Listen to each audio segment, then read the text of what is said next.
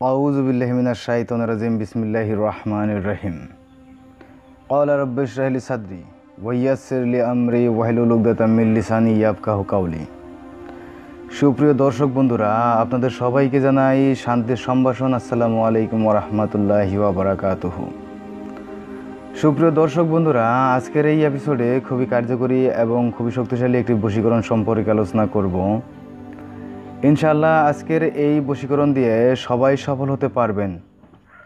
তাই ভিউয়ার্স কেউই স্কিপ করে ভিডিওটা দেখবেন না এবং শুরু থেকে শেষ পর্যন্ত সবগুলোই শুনবেন। আর আপনি যদি নতুন হয়ে থাকেন, তাহলে অবশ্যই চ্যানেলটাকে অধিক জানার জন্য সাবস্ক্রাইব করে নেবেন এবং পাশের অল নোটিফিকেশন বেলটি বাজিয়ে দিবেন। আর একটি বিশেষ কথা হইল এই যে, যারা যারা নিজ থেকে বশীকরণ করতে সম্পূর্ণরূপে অক্ষম, তারা তারা স্ক্রিনের নাম্বার দেয়া আছে, এই নাম্বারে কল দিয়ে আমার সাথে সরাসরি কথা বলবেন এবং আমাকে দিয়ে সরাসরি কাজ করিয়ে নেবেন। তো ভিউয়ার্স চলুন সরাসরি আমরা এই তদবির সম্পর্কে আলোচনা করি। তো এখানে যেহেতু একটি নকশা দেখতে পাচ্ছেন, আজকের এই এপিসোডে এই নকশা দিয়েই কীভাবে যে কোনো মানুষকে আসক্ত করবেন বা আপনার প্রেমিক বা প্রেমিকাকে আসক্ত করবেন এবং তাকে ছুটিয়ে নিজের কাছে বেকাকার হয়ে নিয়ে আসবেন, অর্থাৎ উপস্থিত করবেন, সে সম্পর্কিত আজকের এই নকশাটি। আর এই নকশা দিয়ে যদি কাজ করতে চান, তাহলে অবশ্যই খোলা আকাশের নিচে বসে এই নকশাটা লিখতে হবে। অর্থাৎ এইরকম একটি জায়গা নির্বাচন করে নেবেন যে জায়গাটায় বাতাস আসা যাওয়া করে। তো ভিউয়ার্স এরকম একটি জায়গা নির্বাচন করে নেবেন। এর পূর্বে অবশ্যই কিছু করণীয় আছে, সেগুলো আপনার করতে হবে। সেগুলো হলো এরকম। সর্বপ্রথম একটি জায়গা নির্বাচন করে নেবেন বা মসজিদটাকেও নির্বাচন করে নিতে পারেন। বা নিজের যে ঘর, ওই ঘরে অবশ্যই এই কাজটা করতে পারেন। আমি প্রসেসগুলো বলে দিব, ওই প্রসেস মতোই কাজ করবেন। অর্থাৎ একটি পাক পবিত্র জায়গা নির্বাচন করে নেবেন এবং নিজে পাক পবিত্র পোশাক পরিধান করবেন। আর পারেন যদি, তাহলে অবশ্যই সাদা পোশাক পরিধান করার চেষ্টা নেবেন।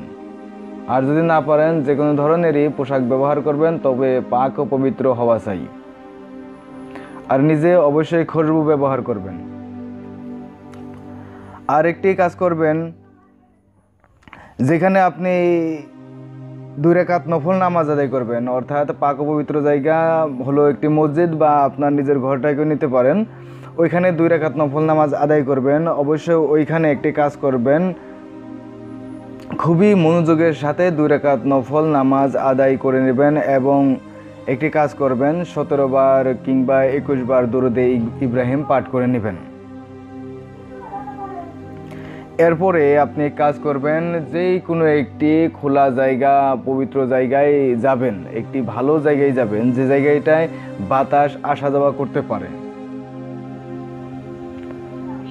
ওই রকম একটি জায়গায় গিয়ে একটি কাগজ নেবেন। কাগজ নিয়ে এই যে নকশাটা দেখছেন, এই নকশাটা একটি লাল কলমের কালি দিয়ে এই নকশাটাকে খুব তাড়াতাড়িভাবে লিখে সমাধা করে নেবেন।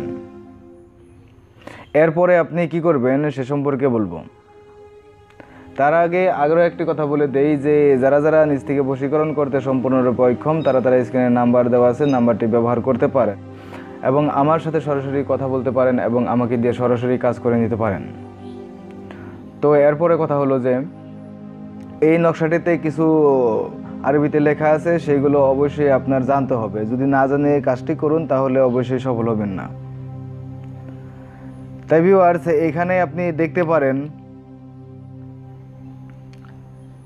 এখানে দেখেন ফলান লেখা আছে। এই ফলানের জায়গায় আপনি আপনার নিজের নামটি লিখবেন। আপনি যদি পুরুষ হয়ে থাকুন, তাহলে এইখানে আপনার নিজের নাম লিখবেন এবং বিন ফলান অর্থাৎ আপনি কার পুত্র অর্থাৎ আপনার বাবার নামটা এই ফলানের জায়গায় লিখে নেবেন। এবার হলো এখানে আছে ফলান। এখানে অবশ্যই আপনি কাকে বশীকরণ করে উপস্থিত করতে চান? আপনার প্রিয়তম নারী যাকে আপনি বশীকরণ করে উপস্থিত করতে চান, তার নামটি এখানে লিখে নেবেন এবং সেই নারীটি কার গর্ভজাত? যার গর্ভজাত তার নামটি এখানে লিখবেন। আশা করি কথাটা বুঝতে পারছেন। যদি বুঝতে অসুবিধা হয়, তাহলে অবশ্যই আবার একবার বলে দেই। এখানে নিজের নাম লিখবেন, এখানে নিজের বাবার নাম লিখবেন এইখানে প্রেমিকার নাম লিখবেন এবং এইখানে প্রেমিকার মায়ের নাম লিখবেন।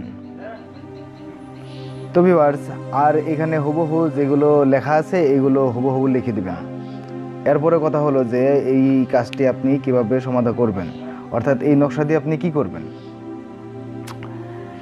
এই নকশাটি যদি আপনি লিখে শেষ করে নিছেন, তাহলে কাজ করবেন, একটি গাছের ডালে এটাকে বেঁধে দিবেন। এরকম করে বাঁধবেন যেন বাতাসে ওটা নড়াচড়া করতে পারে।